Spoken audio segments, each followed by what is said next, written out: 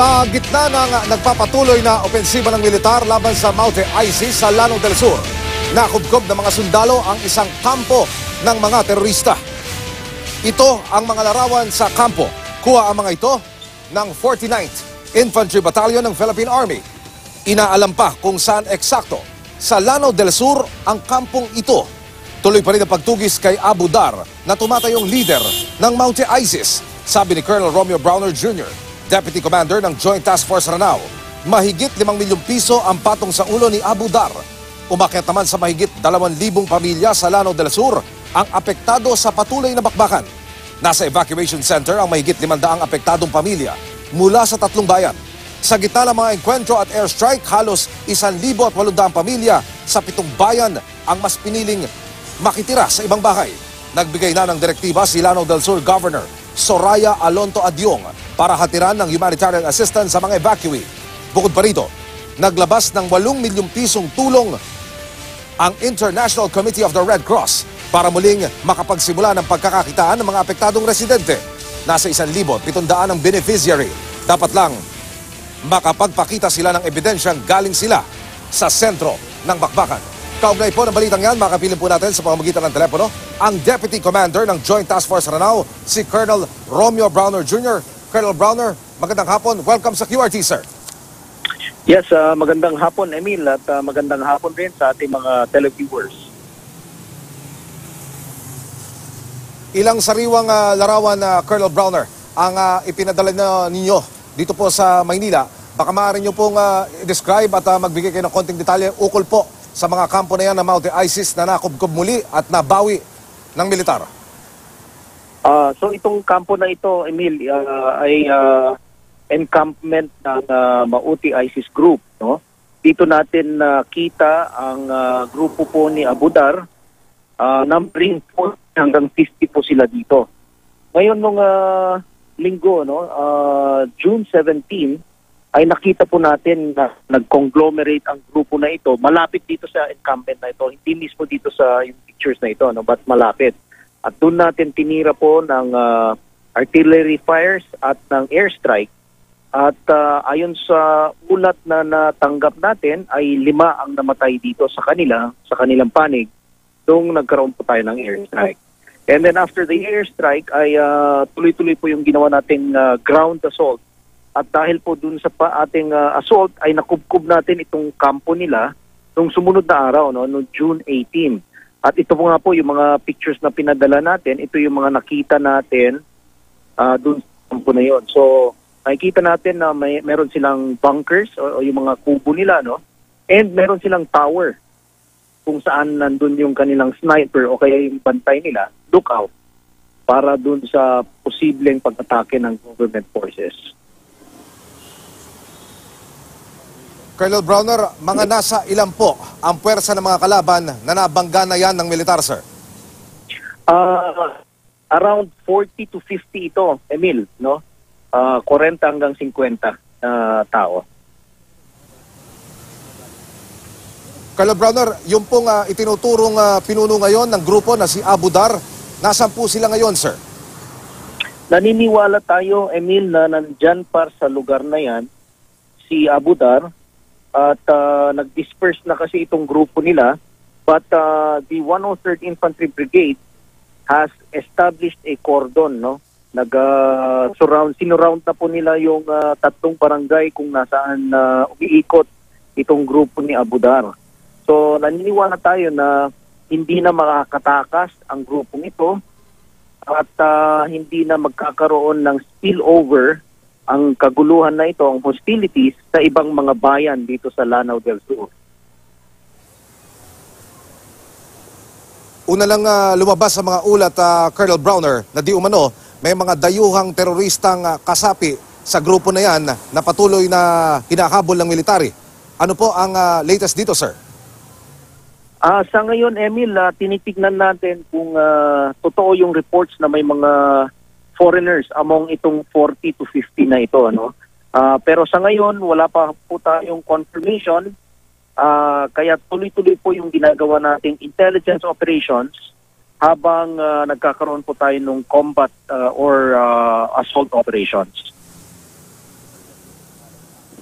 Meron ho bang na, namomonitor ang ah, military Colonel Browner na posibleng mga nais ilunsad na mga pagkilos niyang grupo ni Abu Dhar na yan bago niyo po sila makalaban o maka-enkwentro dyan po sa lugar na yan, sir? Well, ah, wala tayong na-monitor na mga plano nila, pero nung nakaraang ah, barangay FK election, ay meron po silang pinatay na isang kandidato para sa barangay chairman. No? Ah, kaya ah, na-confirm natin yung ah, location nitong grupo na ito na nandyan nga lang sa Tumaran. Kasi dun, dun po nila pinatay yung barangay captain na yon, yung ah, tumatakbong barangay captain. Yung ilan ba sa mga kasapi, Colonel Browner, ng ah, grupo na yan na hinahabol ng ah, military ngayon, yun ho bang ilan dyan ay miyembro din noong ah, mga grupong nag-strike sa Marawi noong nakaraang taon, sir? Yes, tama yun. Ano, ah, karamihan dito sa tinutugis natin ngayon ay lumaban dito sa Marawi City nung ah, Marawi Siege. Ah, yun nga lang ay nakalabas sila noong mga unang araw ng siege at ah, naniniwala tayo na maaring pinalabas sila nila Isnilon Hapilon for the purpose na mag-recruit ng additional members o kaya ay mag-recruit pa ng reinforcements na papasok sana dito sa dito sa main base. Pero hindi na po sila nakap- dahil naka-establish na rin po ang militar ng ah, cordon around the main battle area. Sa feedback, ah, Colonel Browner, ng ah, tropa na nasa na nakikipagbakbakan directly dyan sa mga kalaban, anong klaseng armas po ang gamit ng grupo na ito, sir? Ah, halos high-powered firearms din yung nila, no? katulad yung ginamit nila dito sa Marawi Siege. Ah, remember, this is the same group that we are confronting and also, ah, marami rin silang dalang mga bala. No? Dahil nung nakukup natin itong campo, itong encampment nila, marami tayong nakita ng mga empty boxes ng ammunition. So, armado pa rin sila. Ano? Fully armed pa rin sila. Ilang barangay, ilang sityo, gaano karaming pamilya, Colonel Browner, ang apektado ng ah, opensiba na yan ng military para ho mas, masukol natin itong ah, grupo ng mga kalaban, sir? Uh, actually, uh, halos mga anim na barangay, no? Uh, barangay ng Tuba at ng uh, Pagayawan yung apektado, ano? Uh, however, yung ibang mga kababayan natin dito sa mga malapit na barangay dito sa pinangyarihan ng encounter ay lumikas na rin nang sa gayon ay mas uh, na, malagay sila sa isang safe, no? Safe na lugar. Itong lugar ng Tubaran na ito, Colonel Browner, gaano po kalayo ito sa sentro ng Marawi, sir? Uh, actually, nung pinuntahan namin yung lugar, eh, it took us two hours, no? Dalawang oras po yung biyahe namin. Mula Marawi City hanggang dito sa Tubaran. Ang Tubaran at ang Pagayawan ay located po dito sa southern portion ng Lanao Lake. Samantalang ang uh, Marawi City ay nandito sa northern tip ng uh, Lanao Lake. So talaga uh, magkabilang tulo sila nitong uh, Lanao Lake. Colonel Browner, meron ho ba kayong estimate? Baka sakali lang na hanggang kailan ho kaya itong military offensive na ito para masukol ang grupo na yan, sir? Uh, unfortunately, Emil, wala tayong uh, tinakda na timeline.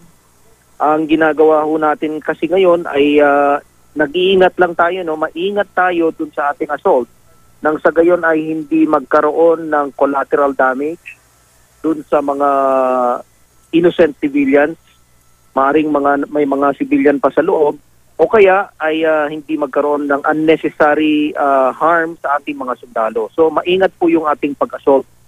Kaya't wala po tayong ah, ah, timeline na sinet. Colonel Browner, nakakakita ho ba kayo ng ah, koneksyon sa pagkilos na ito ng Mountain ISIS doon po sa opensiba naman o yung ah, naging pagkilos naman ng grupo ng BIFF sa Maguindanao, sir? Ah, naniniwala po kami na walang connection ito, no? Hindi po konektado ito. Ah, yung nangyaring encounter po ay op- opensiba ng military ito. Ah, matagal na pong pinaplano ng military ito dahil talagang ah, pinangako po ng ating ah, Chief of Staff na si General Galvez na hahabulin po natin at tatapusin natin itong remnant ng Mauti ISIS. Colonel Browner, bilang Panghuli, ang uh, International Committee of the Red Cross maging ang uh, provincial government ng Lanao del Sur ay nangako ng humanitarian assistance. Paano ho ito inaalalayan ng military para ho makarating sa ating mga kababayan ng tulong, sir? Ah, sa ngayon, Emil, ay ah, sinisecure na natin ang mga iba't ibang mga evacuation centers at ah, tinutulungan rin natin ang ating ah, local government na mag-distribute mismo ng mga relief goods. Nagpapahiram po tayo ng mga trucks at ng mga manpower, mga sundalo na mag-re-repack o kaya ay magbubuhat at magdi-distribute nitong mga ito.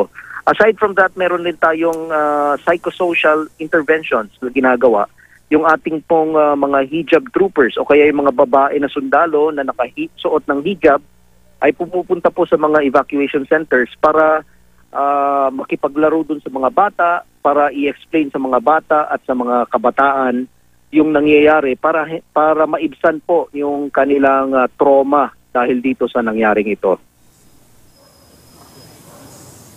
Mga kapuso, ang Deputy Commander ng Joint Task Force Ranao, si Colonel Romeo Browner Jr. Sir, maraming salamat. Good luck at magandang hapon po. Ah, maraming salamat Emil at pabuhay po kayo.